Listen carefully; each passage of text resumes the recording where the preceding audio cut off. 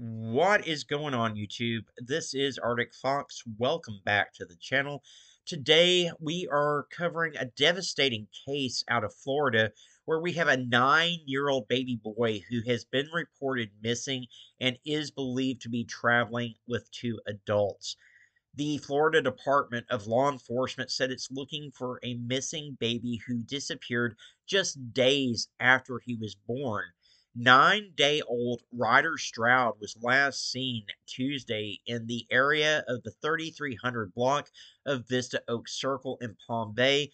Guys, it's unfortunate because we don't even have a photo or a description of baby Ryder. And we do believe, or law enforcement believes, that he is traveling with two adults named Kylie Barta and James Stroud. Now, they are pictured on your screen. Barta is described as a 31 year old woman standing at 5 foot 5 inches tall and weighing 110 pounds. She has brown hair and brown eyes. Stroud is described as a 40 year old man with brown hair and green eyes, standing at 5 foot 11 inches tall. The Florida Department of Law Enforcement believed that they could be traveling in a black 2001 Acura CL with temporary tag number DGK9123 and that the car may have a partially white bumper at the front.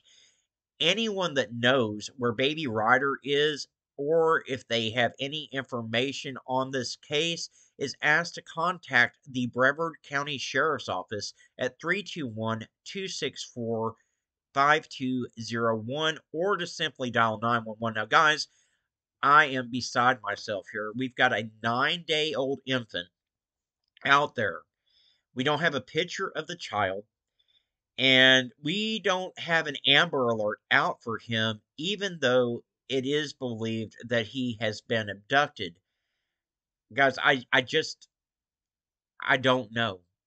I don't know how to put into words how frustrated I am with our Amber Alert system as it stands. And I'm particularly frustrated that we don't have a picture of the child or even a description of what he may have been wearing when he was abducted. But we do know that we need to get his story out there. We do have a description of the vehicle, and we've got pictures of the suspects in the abduction. So we need to get Ryder's story out on social media. We need to be his Amber Alert for him it, what's even more frustrating is that this child's been missing since Tuesday, and this is only hitting the press today. So, this is Saturday, guys. We're talking about almost a week that this child's been missing, and we're just now hearing about it. Help me out here. Let's be Ryder's Amber Alert. Let's get his story out on social media, and let's try to find this baby and bring him home safe. What I need you guys to do is to give the video a like. It does help more people to hear Baby Ryder's story. And hopefully, the more people that hear his story, see the suspects, and hear about the vehicle description, the better the chances are that we can bring this baby home safe. Also, if you're not subscribed to the channel yet, consider clicking that subscribe button. It really helps the channel out and if you ring that notification bell, you'll always be alerted when I post another missing persons video.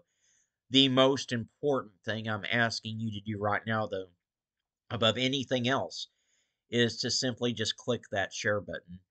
Share this to your Facebook, your Twitter, your Instagram, wherever you have social media, guys.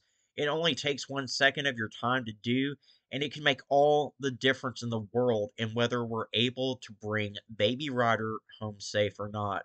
As always, guys, I do thank you so much for tuning in and watching. I appreciate each and every single one of you. Y'all be kind to one another out there, and let's bring Baby Ryder home safe.